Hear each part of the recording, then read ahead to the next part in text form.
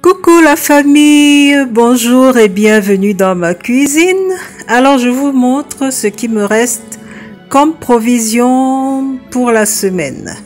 Alors là nous voyons deux sachets de 200 grammes de riz chacun, du riz basmati. Donc j'ai 400 grammes de riz, euh, des pâtes, donc euh, des spaghettis, un grand paquet complet, donc 500 grammes, et puis un reste. Des pâtes d'Alsace. Je pense qu'elles vont s'afficher tout à l'heure. Donc, euh, un reste de coquillettes.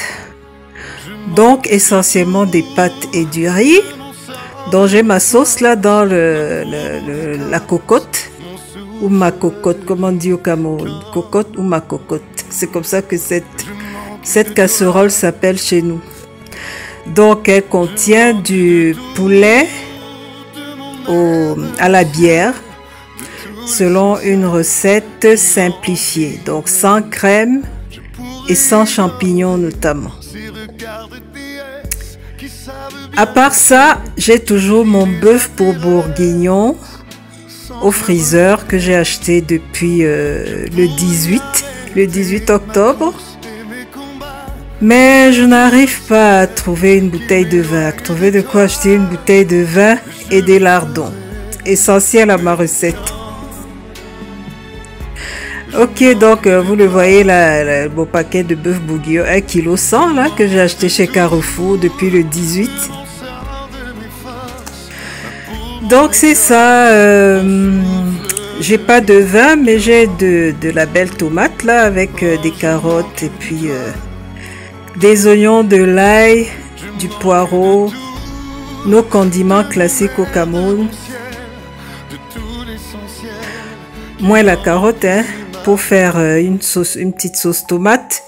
J'ai aussi des poivrons. Donc si j'ai faim là, à défaut de bœuf bourguignon, si j'ai pas les, ingrédients, je vais me faire du bœuf à la sauce tomate, accompagné de riz. Dans ce que vous voyez là, ce, petit, euh, comment dit ça? Euh, Est-ce que je vais dire un mets Je sais pas. Ce petit truc étrange là dans l'autre place, ça s'appelle du bobolo ou du bâton de manioc chez nous une des versions camerounaises de la chikwang congolaise. Donc ça pourrait aussi me dépanner à l'occasion. Mais bref, j'espère que j'aurai du bœuf bourguignon, que nous aurons du bœuf bourguignon dans les prochains jours. Je vous remercie.